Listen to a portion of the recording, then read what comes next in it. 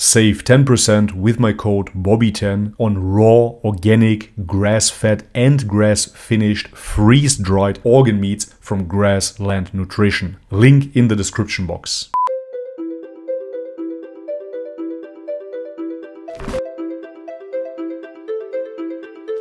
Alright guys, welcome back to the channel. If you're new, my name is Bobby. Guys, you really love the reaction videos to Dr. Zakir Naik. Today we're gonna watch Dr. Zakir Naik again with his video The Differences Between Shia and Sunni Sects in Islam. This is a video that a subscriber has sent to me personally. I am very very intrigued to find out about this because I am doing my own research as well on Shiism, on Sunnism, even on Sufism. I'm very very curious to find out about the true cause for the separations. People say it's only political, but then if you look into the sects, there are different religious practices, different perceptions of certain characters within Islamic history as well. So this is definitely something that I really have to learn about, and I hope that this video will shed some light on it. Let's have a look. After the non-Muslim is that if all the Muslims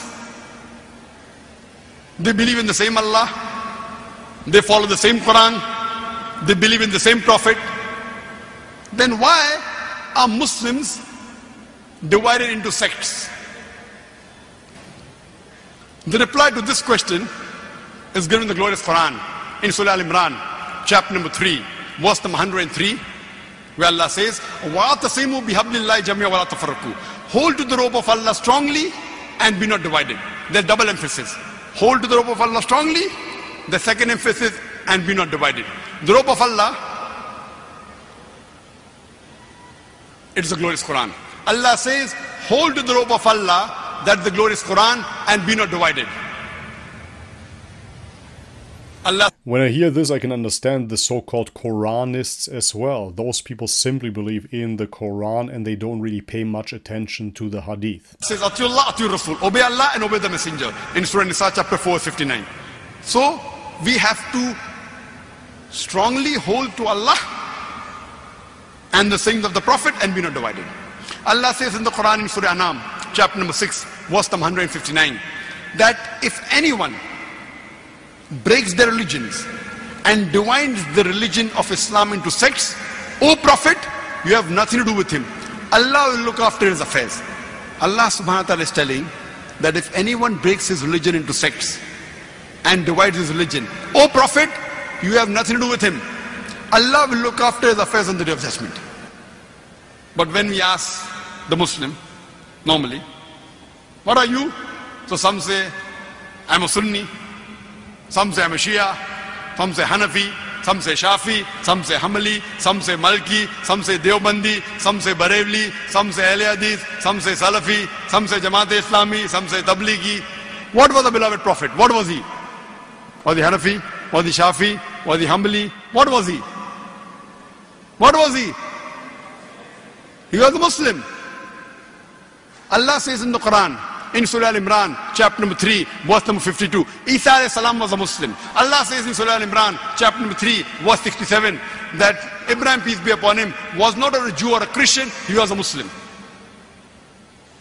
And Allah says in the Quran, in Surah Fussilat. And that's exactly the impression that I got when I was reading the Quran. Essentially, Muslim, somebody that believes, a believer, somebody that submitted his will to God, is simply that. You are not following a sect. You cannot by default follow then a sect, but you simply submit yourself to God. You are a believer. You are among the believers. Chapter 41, verse number 33. Woman ahsanu qala mimman salihun. Innani minal muslimin.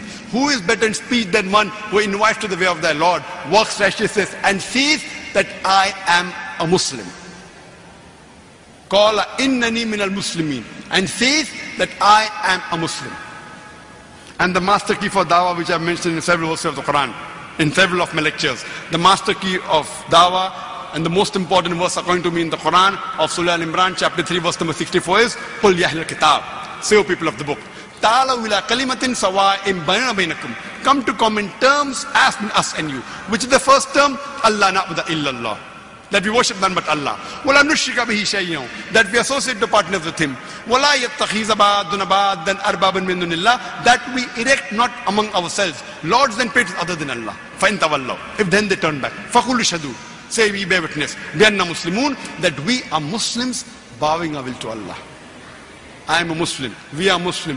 No less than 22 places in the Quran.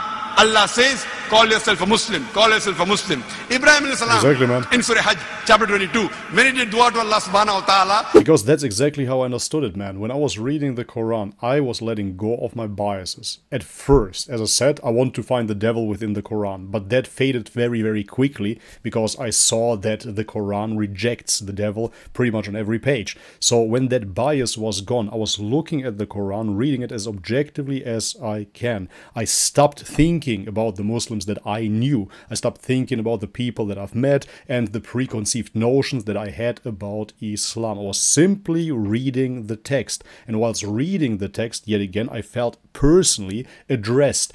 And the text spoke to me and was clarifying that there are two kinds of people either you're a believer or a non believer, i.e., Muslim. that make my children Muslims. And I really have to try here. I pronounce it like an American. I say Muslim. Of course, I have to say Muslim. In Macedonia, we say All Musliman. these Aimmas, all these great scholars of Islam, the four Aimmas, Imam Abu Hanifa, Imam Ahmad bin Hanbal, Imam Malik, Imam Shafi, may Allah have mercy on them all. May Allah be pleased with them all. I love them, I respect them all. All these are great scholars of Islam. All of them. When you ask them, if you ask Abu Hanifa, may Allah be with him, who are you? What reply will he give? What will he say? I'm a Muslim. We love these scholars, we respect these scholars. All the scholars said that if you find any of my fatwa which goes against Allah and His Rasul, you throw my fatwa on the wall. We love these scholars, we respect them, but all of them came to get us closer to Islam, to make us a practicing Muslim, not divide our religion. Allah says in the Quran in Surah Nisa chapter 4 verse 59, Ya allazina amanu, O you believe, Atiullah wa Atiur Rasul. Obey Allah and obey the messenger. And those who have been charged with authority, wa ulil amri minkum, who have been charged with authority amongst you. So people say, believe in Allah, believe in the message, messenger, and believe in the scholars. But they're putting a full stop where there's no full stop. The verse does not end there. The verse continues. Obey Allah and obey the messengers and those who have been charged with authority, the ulama, the scholars. But if they differ, go back to Allah and His Rasul. If they differ, if any scholar, if you find all the scholars say the same thing, you don't have to do research. All say pray five times, no problem. All say fast, no problem. But if two scholars differ, you go back to Allah and His Rasul. Where is the question of dividing the religion? That's our beloved Prophet Muhammad said. It's a Sahih Hadith of Sunan Abu Dawud, Hadith number 4579. Our beloved Prophet said, Man, how he can remember those things off the top of his head. Unbelievable. There will be 73 sects in Islam. But mind you, so people say, Prophet has prophesied. The Prophet said there will be. The Prophet didn't say make. The Prophet said there will be 73 sects. Prophet did not say you should make sects in Islam. Allah clearly mentions in Surah Anam chapter 6 verse 159, do not make sects in the religion of Islam. The Prophet predicted there will be 73 sects. He didn't say you should make. There's another hadith, a Sahih hadith in Tirmidhi, hadith number 171. Our beloved Prophet Muhammad said that there will be 73 sects in Islam, out of which all will go to hell except one.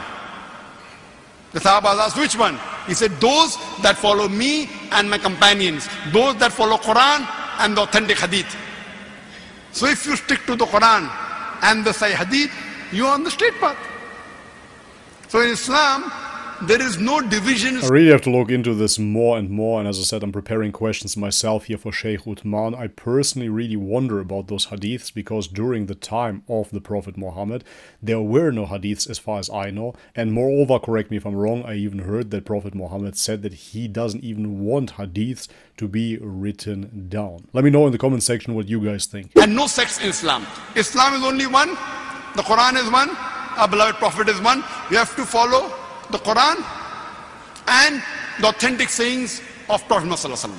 Alright this is it for today's video. Very interesting stuff and it confirms what I believed or what I felt rather whilst reading the Quran. As I said, I personally simply got the impression that this is a clarifying book that shows us who the believers are and who the non-believers are. It did not talk about sects or different practices, quite the opposite. It clarified what was right, what was wrong, who was a believer and who was not. Alright guys, but this is it for today's video.